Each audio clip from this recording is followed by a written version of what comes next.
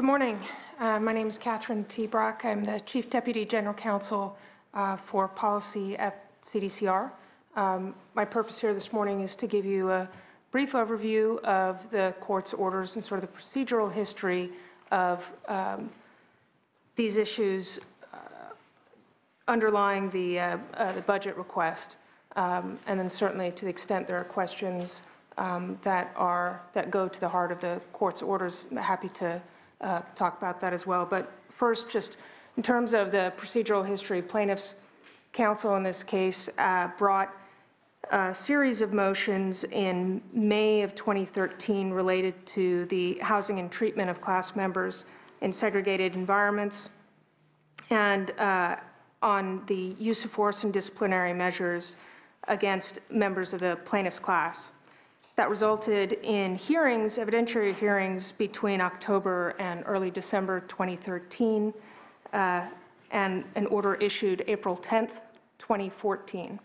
Um, After those orders issued, uh, you may or may not know that the orders uh, required the defendants to work under the guidance of the special master uh, to develop um, and implement uh, policies and procedures to address the violations that the court found. Um, Those negotiations occurred over the course of several months um, and resulted in a series of filings in August of 2014. Uh, The first of which was in, on August 4th, I'm sorry, August 1st, um, later uh, approved by the court on August 11th. That first order uh, addressed the use of force policy, uh, management cell status, non-disciplinary policies, EOP, I'm sorry, the enhanced outpatient um, program for the um, ASU hub, hub certification, uh, as well as the unclothed body search policy. Um, Later in August, uh, we filed a plan um, related to the administrative segregation um, and the uh, security housing unit for the, the uh, triple CMS population through the creation of the short-term and long-term restricted housing um, units, as well as a case-by-case review policy. Um, uh, The court approved that order the same day, on uh, August 29. Uh, Notably, the, um, the policies uh, were not, were filed with concurrence of the special master, and uh, there were no objections filed by plaintiff's counsel um, on those submissions.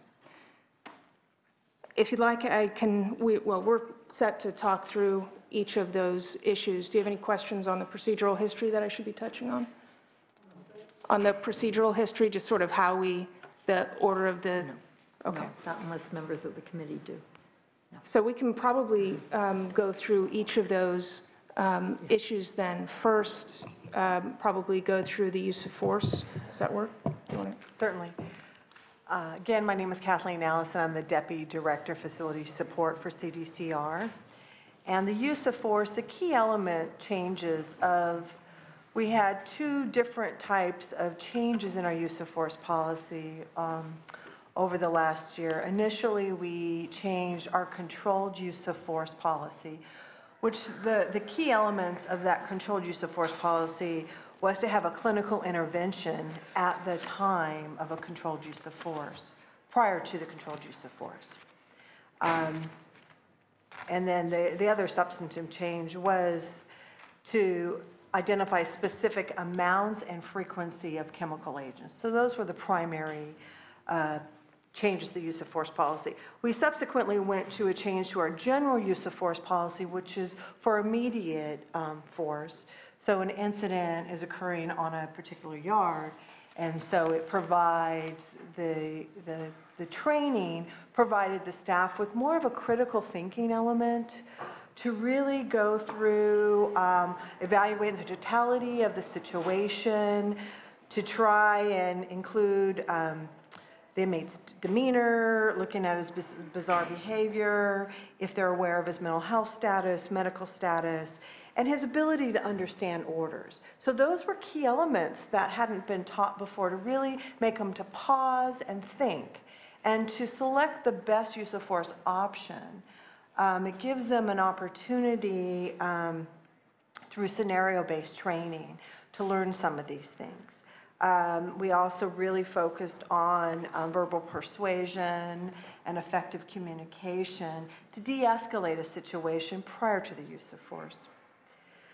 Um, The management cell status component um, was really, the key element with that was to have a clinical intervention.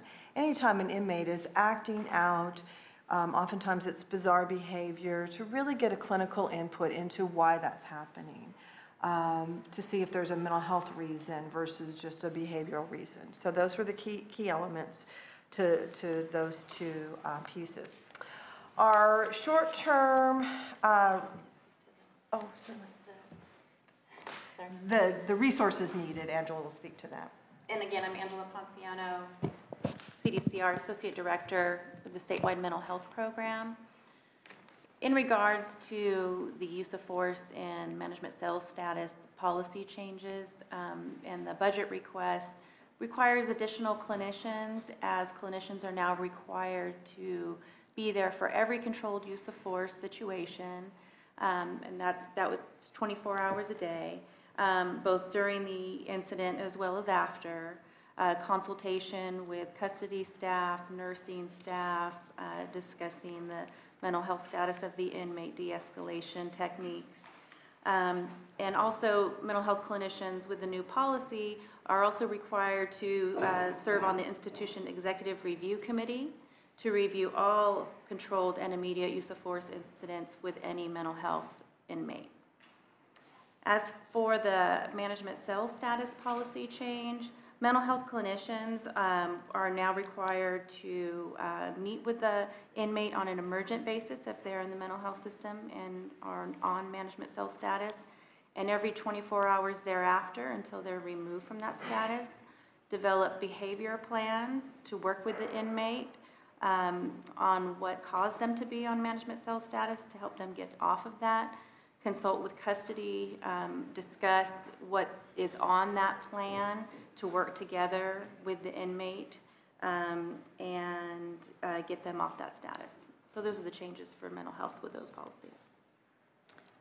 Okay, could you just briefly say how many hours of training are you giving people?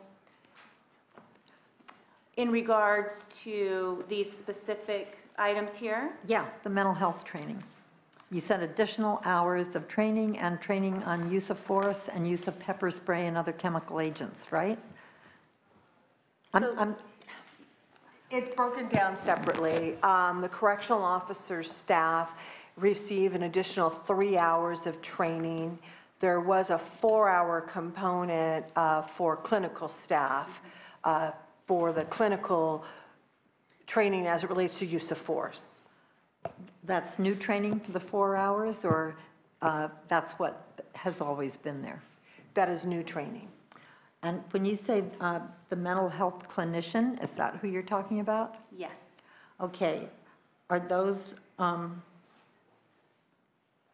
can you tell me what kind of education is required for that position? I'm sorry, it's a, are we talking about what's commonly referred to as psych techs, or are we talking about This would psychiatrists? be Who are they? psychologists, um, clinical social workers, and psychiatrists. Okay, and that is so that they will know what to do when they're consulted by the custody staff? Who get, This, what the, the initial training was to go over the new policy, the new use of force policy. And in addition to that, um, in the mental health specialized training unit, we have developed, um, interview technique training to assist with that. So motivational interviewing techniques. Um, in regards to the management cell status policy change, we've developed some new behavioral plan training for the clinicians to help guide them in developing these behavioral plans for the um, inmates on management cell status. okay. um, Now, the mo, the motivational interviewing and that sort of thing, is that part of the three hours that No, you that's referred to? Or separate. that's in addition to the That's in three hours? addition to. Okay, can you actually uh, let us have uh, an outline of what the training is? like we get from C-Post and that kind of thing? Because Abs- three hours isn't, I mean, so what are they getting as part of their job? And what is the additional training as a result of this special master's report? Um, So it's basically mental health clinicians and custodial staff each get some additional training? As well as nursing staff. And the nursing staff, do they get the four hours or the three hours? The initial training was four hours for, um, on the, and we have to separate it out for controlled use of force versus immediate use of force. So nursing, mental health clinicians, and, and custody managers receive the initial four hours. The three hours of training is for the rank and file correctional officers. Okay. And we can provide both those Okay. lesson plans. And is this one time or ongoing? Um, The initial use of force policy for immediate was one time. The, the three-hour component is ongoing. Okay. Meaning, meaning what? All new staff will get it? They'll- All new staff and all staff annually. Okay, so that will be annually. And when you say we developed, um, how, who developed the training and um, who delivers the training? Well, we put together a collaboration team of both um, custody managers as well as mental health um, leadership. And nurs- nursing. And nursing. Leadership as well. They put together the training and they trained it together on the immediate use of force training. Excuse me, I On correct, the control. on the controlled use of force. Uh, On the immediate use of force, it was, it was primarily custodial uh, staff managers that put that training together with the cooperation of our GALT uh, Training um, Academy. And we should note as well that the uh, training modules were discussed at length with the special master expert team. Um, So they uh, weighed in and provided some uh, guidance on how to modify and improve that proposed training. And and what's mm-hmm. different with this training, unlike other trainings that we've had, is we brought, each institution was to designate staff to be certified trainers. And only those certified trainers can provide this training at the institution. And we really feel like that's a key element. We've handpicked those staff to provide that training. And in addition, our, our m- our main training team, who provided it to all of the managers and provided it to all of the certified trainers, they will go out and do kind of on-site inspection to make sure that the message is, is staying consistent. That the message from what headquarters expects gets all the way down to every institution throughout the state. Okay.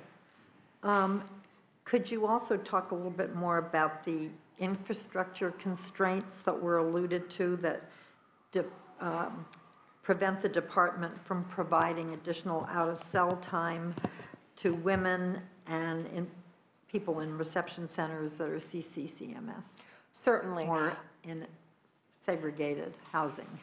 Certainly. Um, The court order, the subsequent court orders and agreement that were established with the special master and, and plaintiffs, we had, currently, our enhanced outpatient program inmates that are in segregated housing receive 20 hours of total out-of-cell time in a given week.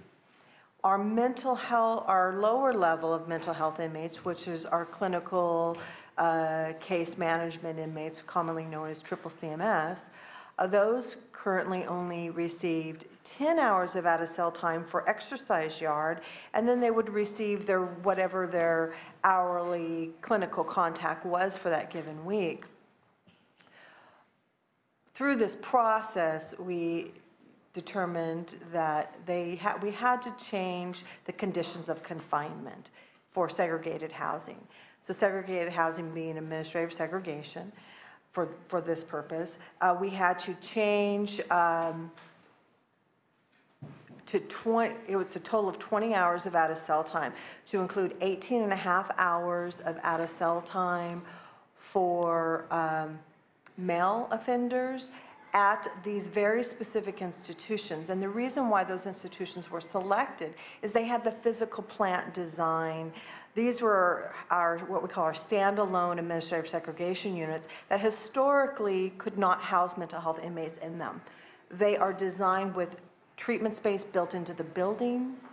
Um, Unlike our other designs that are kind of wide open, these are very sectioned off um, sections where I, I- I don't know the exact number of sections within the building, but they have treatment space built in for both group and individual treatment, as well as they have individual exercise yards. Each of them was built with 20 exercise yards to accommodate the population of maximum capacity being 200.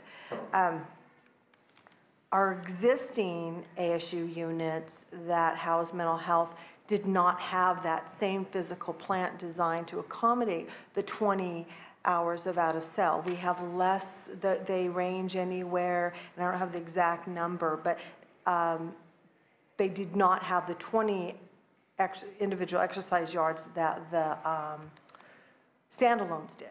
So the, the 15 hours, that's different for the um, reception center inmates as well as the females, as well as the long-term segregated housing units, which are our um, security housing units at Corcoran.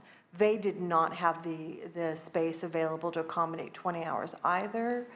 So, and it really is totally about physical plant and the ability to provide that time.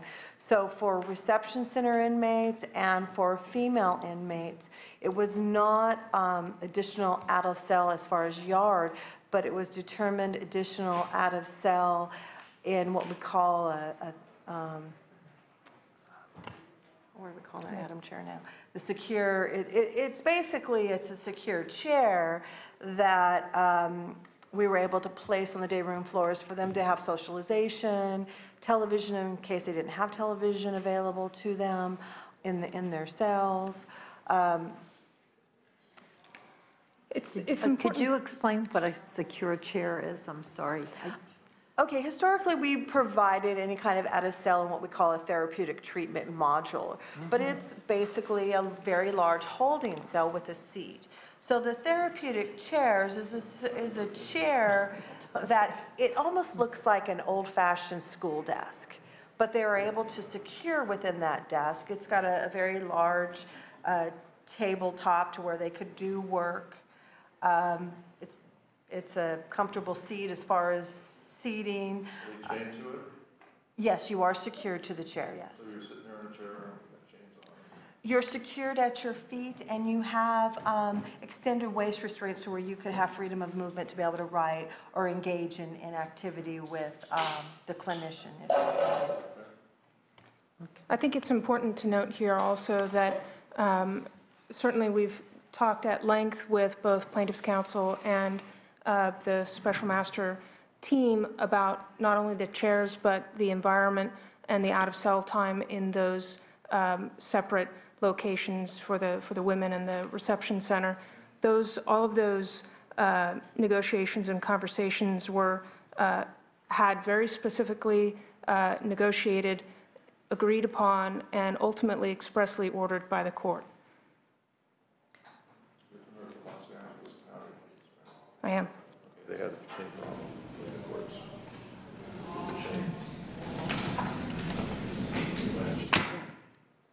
So do all of the CCCMS units have administrative segregation components? The, no, currently, we, there are 10 standalone units that have been identified to house these, similar to what we have now for our enhanced outpatient program hubs. We have designated institutions. We will have designated institutions to house the triple C, triple CMS inmates at these 10 standalones at nine institutions. So one institution has two of them. We were not able to utilize the facilities in our desert institutions. Um, For what reason? The desert institutions are prohibited uh, pursuant to the Corman- Coleman Court Order due to the heat in the, in the desert and the problems with psychotropic meds and heat. Okay. Um, I guess I'm, I'm interested in the budget proposal, which has almost 300 new positions over the two-year period. Um, It seems like many of the things that you need to do are either infrastructure changes or training and attitude changes. Why do you need so many more people? Um, uh, Some of the changes require additional staffing. We talked a little bit about the use of force changes, and a clinician is now required to be um, at every controlled use of force instance. Also have more involvement in the management cell status portion. In regards to the short-term restricted housing and the long-term restricted housing, we've increased the amount of uh, therapy being provided to the inmates, as well as um, the clinical contacts. Also, um, there's some staffing for nursing, because in- currently in our um, SHUs, they, they do weekly contacts, it's going to be increased, increased to daily in the long-term That's for mentally ill people in solitary confinement? That's for the, um, the triple CMS um, inmates that are currently in the SHU will now be in the long-term restricted housing units, and their conditions of confinement have also changed with increased contacts, um, increased out-of-cell time, and increased therapy. Right. Um, And so for the use of force management cell status, um, the short-term restricted housing and long-term restricted housing, those are the main components of the increased staffing uh, for the clinical side. Um, I think some of the other staffing is in related to the increase of the inmate patient welfare check system, the Guard One system currently in place. Correct, we haven't quite got there. Um, The minimal, we, on the custody side, there were minimal, minimal resources needed. There was an offset um, of our existing ASU, our existing administrative segregation, excuse me, I'll try not to use acronyms up here. Um, We were able to offset that. So the total net need was about 17.6 positions to activate the 10 um, long, or the 10 short-term restricted housings as well as the long-term restricted housing. And that's to accommodate the, obviously, the additional 10 hours a week of out-of-cell time. Right. So approximately how many of these new positions, because there are going to be 290.4 permanent positions um, in the end, um, And so Joyce Hayhoe, Receiver's Office. So um, just to make it clear in terms of our portion of this BCP, we need 70 positions for psych techs, and that is in the restricted housing program. We will be going from weekly checks to daily checks. And so that's the part of uh, this BCP that um, comes from us. And when you say daily checks, what does that actually include? So the psychiatric technician will be responsible for checking on a daily basis in terms of the inmate's welfare that is in the mental health program in the restricted housing setting. So what we do right now in terms of weekly, under the court order, we're going to be required to do that on a daily basis. And it's another set of eyes and ears in the program to make sure that the restricted housing um, program and the services provided are being provided on a daily basis. Is this a conversation um, through a cell door, in person? What is it? Is it a check, are you okay, goodbye? No, it- No, it's, it's is more it- than that, what- you know, what does it obviously, and I think, I entail? believe it is cell-front, so, um, and we do it, um, you know, within the program um, on a regular basis. Yeah. So what did you say, it's inside the It- cell? No, No. it's cell-front, Okay, so- so you're talking basically Correct. through the door? correct. Okay, which is a little window, right? If I remember what I've seen for administrative everywhere. segregation. Uh, For the most part, yes. Different everywhere. Yeah, but the The- ones Each one's seeing. different. Okay. Um, Thank you. Thank you. Very much, Ms. Hayhoe. Um, Okay, are there other questions from members of the committee? I just looked at this and I wondered why, the- in terms of changing um, some of the procedures, uh, that can't be done without asking for more money. That's kind of the, we're the budget committee, so I'm looking at, uh, you know, like training, um, you have the C-post training requirements, right? You, you adjust that often, that comes up, and you occasionally will adjust the training modules and so forth, and it seems like, um, in terms of mental health, especially mental health training, um, pepper spray or whatever probably should have been done already, it's probably some kind of training. Uh, Isn't that something you can just simply adjust the, the total, you know, the training modules and deal with the training issue that way in terms of that? And then your, your ongoing training requirements, uh, you do ongoing, ongoing training. Isn't that simply just adjusting the, the training module uh, procedures? And why, you know, that's, that's a question. So I'm looking at the budget, I'm looking at it from standpoint of, you know, sir, why, why? Yeah, we it's need sort to- of like what I asked before. If you're Yeah, training, yeah. You're training them already. peop- You're- yeah, and obviously, we didn't train them in the use of pepper spray yeah, adequately I because assume. of the problems. So why is it, why does it take so much ongoing money when you could, we could just presumably get a better training program? So Clint Kellum, Department of Finance, if I, if I may, on the training component here, I think you're kind of talking, I believe, about the Correction Officer Academy, and there is a process for curriculum development. The resources requested here related to training are going to participate in that process to the extent there's, you know, um, cross-discipline need, but they're also developing, reviewing, updating, and improving the training for the mental health clinicians and the nurses that are interacting with inmates with mental illness. So that's a focus team that doesn't exist today. Um, and there's a lot of talk about training, and training is a part of it because we're asking for a lot of resources because we want them to become effective, but there's a lot of new workload here. So when the department was talking about, you know, having a clinician on and available for controlled use of force events, that's additional new workload. You're going to have clinicians that are involved in the management cell status and developing behavior plans. That's new workload. You're having more clinical interactions in these short-term and long-term restricted housing units that didn't exist prior to that. That's new workload. They have additional out-of-cell time.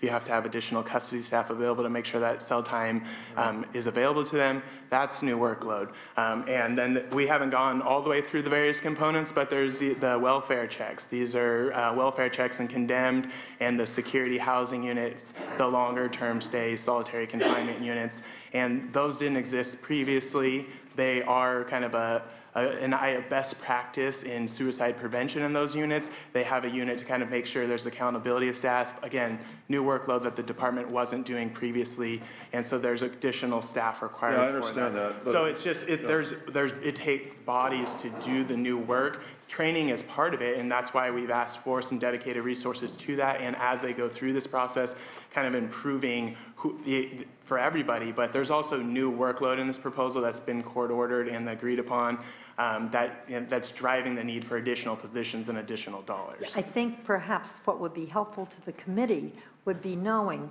which of the new resources are exactly that, additional clinical positions, because there's going to be more out-of-cell time, and therefore you need somebody to help program that, right? As opposed, you know, we- we don't really have that kind of breakdown. So it does raise the question about training existing people.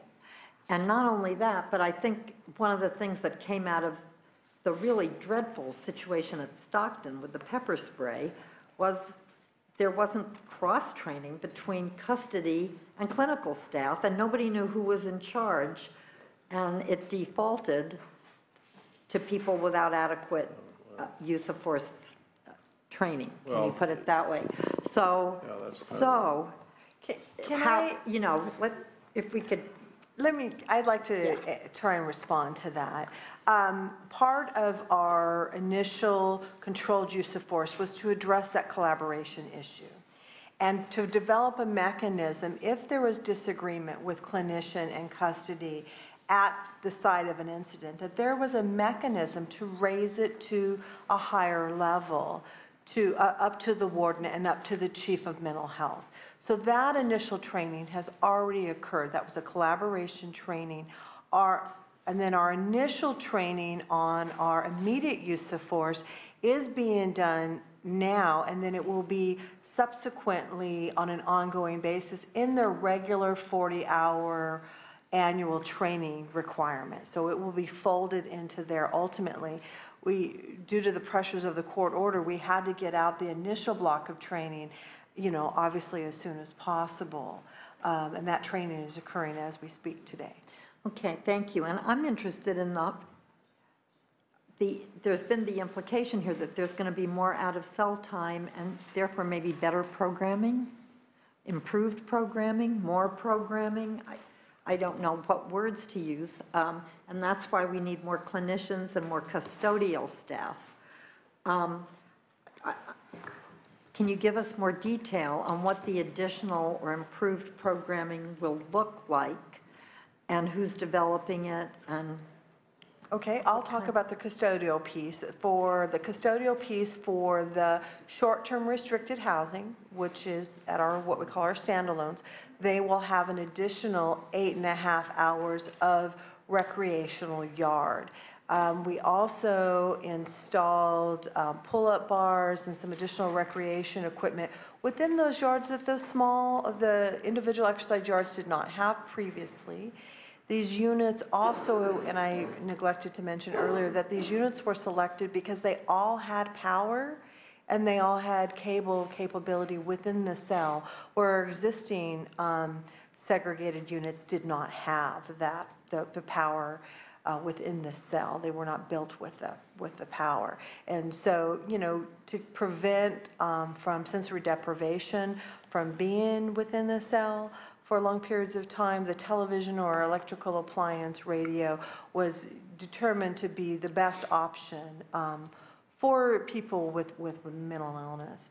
I Um, thought everybody had a- either a TV or a radio if they were in solitary confinement. If there's power available, if not, we have um, purchased um, what we call a hand crank radio that um, provides some, Oh, I didn't realize that. yeah, you know, City- it's, Well, Yeah, the statement's I've been seen made that it wasn't really solitary confinement because everybody had a TV.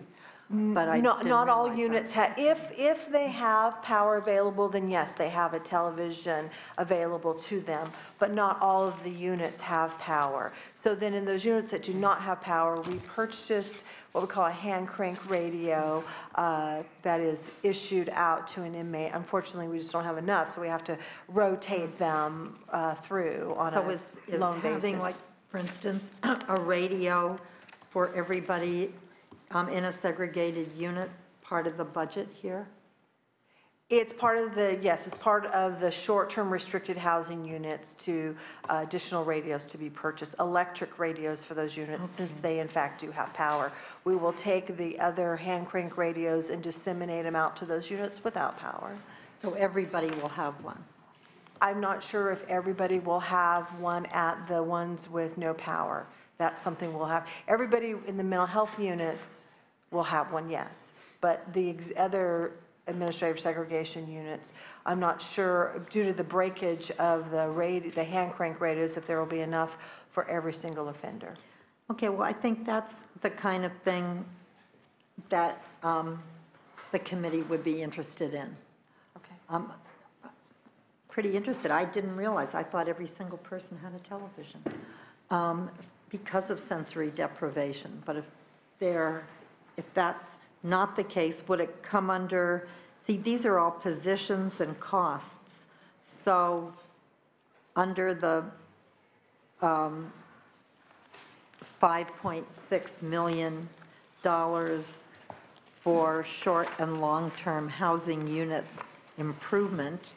It's on page 22 of our analysis.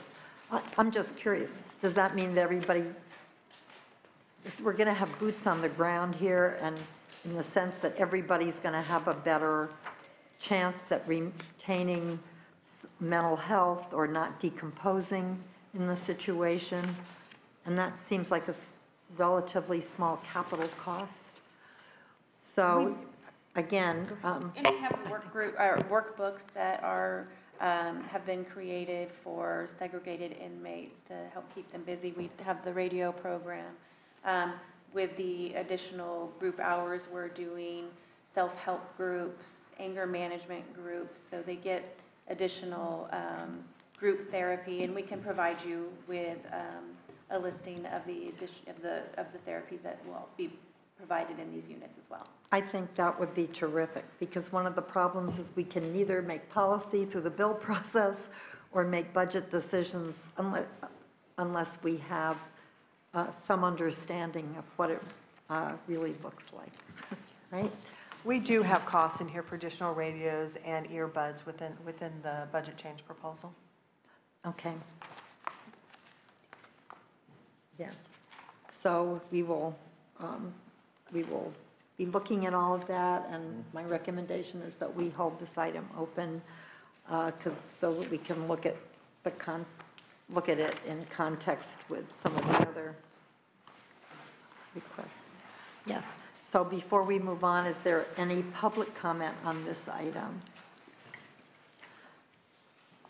Okay, seeing, oh, there is, okay. Hi, my name is Adrienne Roberts. I'm with the California Coalition for Women Prisoners, along with a few other people who are here. Um, What we know from our members, who we meet with regularly inside the two women's prisons, and also some re- reports from the CDCR, is that there's, and what we've seen over years, a major discrepancy between um, what's being described as additional training and what it actually looks like inside the prisons. And we've been through multiple moments of additional trainings in the past throughout the Coleman lawsuit. Um, we know that welfare checks often mean an, an officer walking past a, a cell and not really doing anything and counting that as a welfare check.